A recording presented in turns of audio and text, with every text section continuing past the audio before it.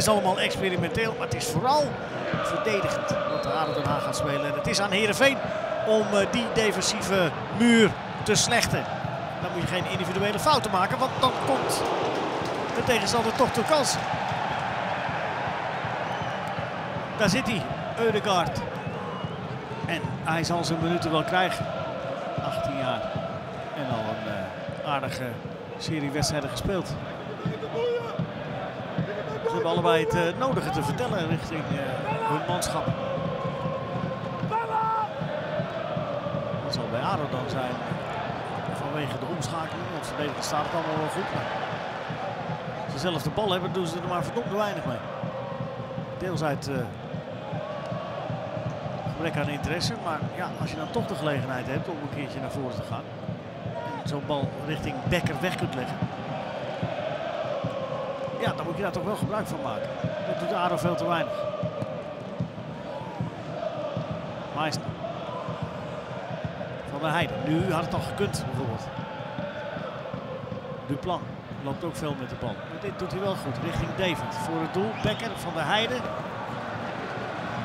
Mulder.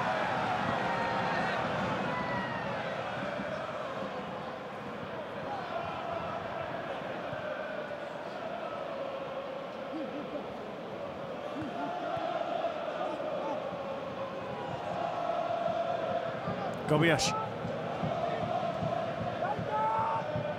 Zanelli.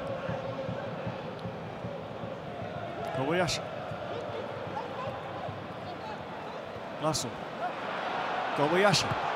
Ja, niet. De Japaner die vanuit uh, zijn uh, controlerende functie zich ook helemaal voorin inschakelt. En dat levert dan wat op. Dat is een uh, doorbreking van het gebruikelijke patroon.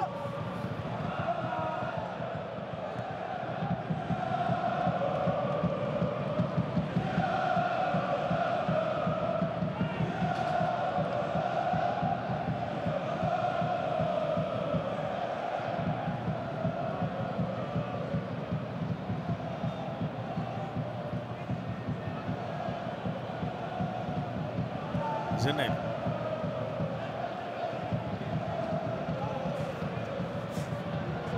Nou, schiet het maar. Probeert het tenminste nog af en toe eens. Helemaal aan het begin van de eerste. En nu zo tegen het einde nog een keer.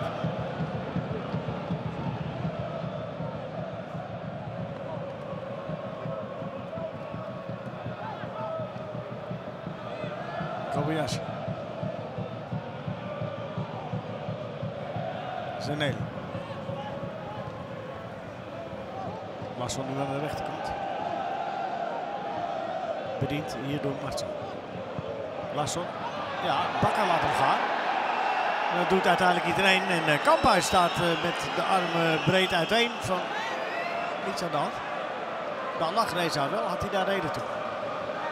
Ja, omarmd door Beugelsdijk. Dat is wel waar, hè? Dat is wel waar. Net door Beugelsdijk. Die uh, laat dan op het uh, blijkbaar juiste moment los.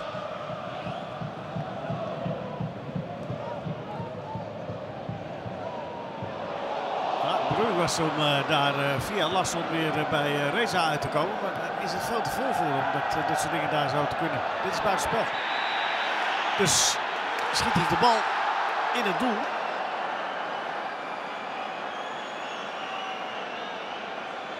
Nou, Beugelsdijk stond daar. Het was dus geen buitenspel. Martin Eudegaard uit de dugout gekomen. En dat uh, zorgt meteen voor meer leven bij de Heerenveen-fans die trouwens uh, geen seconde stilvallen. Al is daar vanavond toch alle reden toe. Zeneli intussen. En net weer achter, achter bij Larsson. Maar er komt misschien een herkansing voor Van Amersfoort. Ja, nee, paal! Dat had het moeten zijn voor uh, Heerenveen in de 54e minuut. Pelle van Amersfoort die uh, niet zijn tweede van het seizoen maakt. Maar de buitenkant van de paal raakt.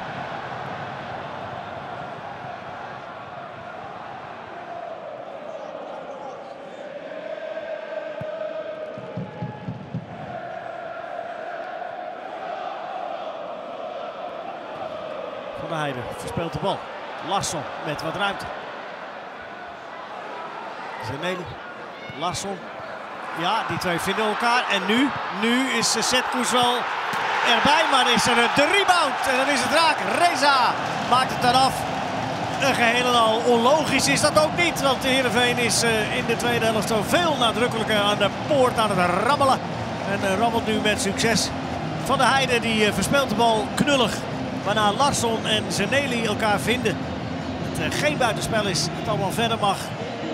Het schot hier nog geblokt wordt. Maar dan Reza als een echte spits daar staat waar hij moet staan. Zijn achtste van het seizoen maakt.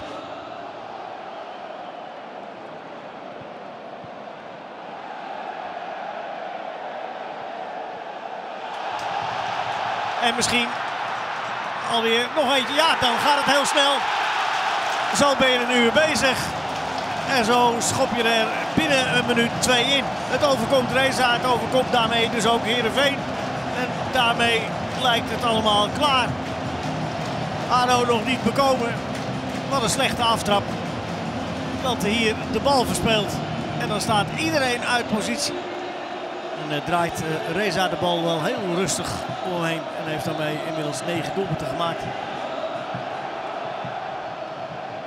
Ja, 1-0 achter, dat kan gebeuren hè, tegen Heerenveen. Daar kun je wel op rekenen, maar een minuut later al die antwoord heeft. Maar Becker kan het weer spannend maken. Becker, Becker maakt het niet spannend. Mulder voorkomt dat. We hebben er lang op moeten wachten, maar we zien nu wel van alles. Duplan.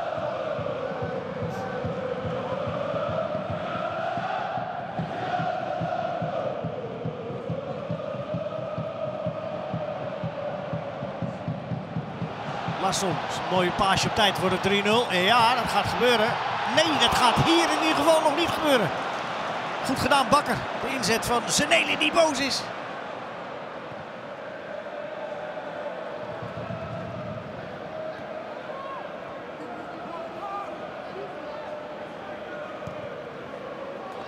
Zeneli. Van Amersfoort. Die is doorgelopen en schuift de bal. Maar in de handen van Zetkoes.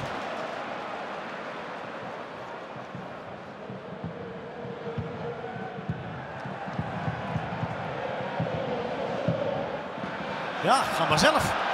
Dat inzicht heeft hij.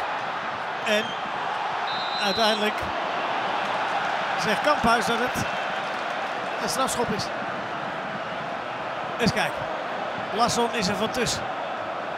Volgens mij speelt Bakker de bal. Maar dat zeg ik zo even in een uh, flitsje. Ja. Larsson. En geen uh, 3-0. Grote aarzeling bij Larsson om uh, die strafschop binnen te knallen. En dan wordt het uiteindelijk de makkelijke wijf van Setkoes. En een historisch moment is aanstaande. Hij maakt zijn opwachting op het Nederlands voetbalveld. Martin Eudegaard, het Noorse talent.